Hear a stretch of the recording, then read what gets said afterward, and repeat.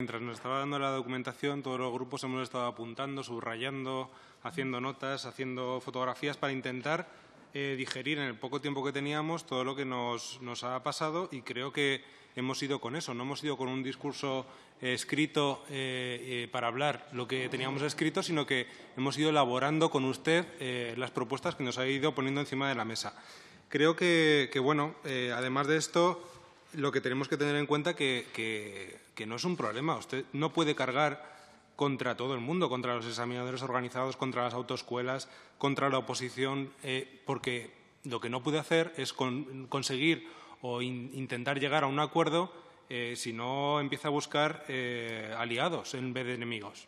Y eso nos está creando una ansiedad, este tipo de declaraciones que creo que son bastante ambiguas. Cuando dice usted que, la eh, especialidad, eh, la, escala de tráfico por la, que tanto hemos eh, luchado y usted nos propone aquí con el documento 6 razones para la creación de una especialidad de tráfico en vez de una escala de examinadores de tráfico, bueno, pues usted está proponiendo otra cosa de la que tanto hemos luchado.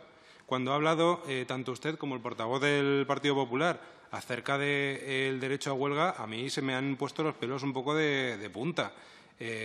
bueno, habrá que ver, y se lo ha dicho el portavoz de Esquerra Republicana, eh, la legalidad que tenemos eh, para aplicar ciertas normas y, cómo hacemos ciertas cosas, porque el, principio de autoridad eh, tenga mucho cuidado cuando, cuando hable de, este tipo de cosas. Sobre las reuniones que ha dicho que había mantenido, es cierto que se han mantenido reuniones, no han sido tres, sino dos, y que la primera pues sí que estuvo 45 minutos, en la segunda ni siquiera el secretario general estaba presente porque estaba de vacaciones es, algo que, bueno, que está allí y que, creemos que, hay que entender cuando usted nos dice eh, cierta información, contrastarla. Ahora, como le ha dicho el, propio portavoz eh, del, Partido Socialista, tenemos otra vez eh, reunión con, con autoescuelas y con examinadores. Le invito a que venga y a que ponga toda esta documentación a disposición de examinadores y de, y de autoescuelas y que podamos debatir y, simplemente esto no es una reivindicación eh, estrictamente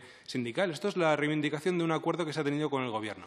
Y se le presume al Gobierno credibilidad, sensibilidad y, una serie de características que, si no, no tiene la legitimidad que, que debería tener un Gobierno. Y usted está hablando ahora mismo como portavoz del Gobierno en esta materia. Por lo tanto, y acabo ya, eh, en cuanto a la, a la especialidad de tráfico, eh, margina un tercio de, los examinadores que no, se van a ver afectados en el, grupo C1 y, a los dos tercios les supondría la mitad de, los que, de lo que les prometieron.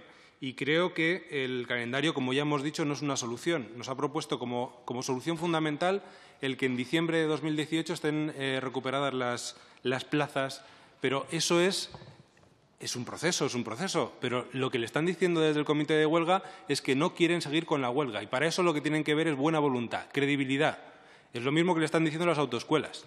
Y por eso es por lo que tiene que dar algún, algún tipo de, señal de tener buena voluntad para la resolución del conflicto. Lo que no puede hacer es eh, darles carpetazo, darles portazo, porque no quiere cumplir los acuerdos que ya le hemos explicado, está en el punto número dos, eh, de hacer vía eh, complemento de productividad, vía lo que sea, el, acuerdo al que llegó con, en 2015.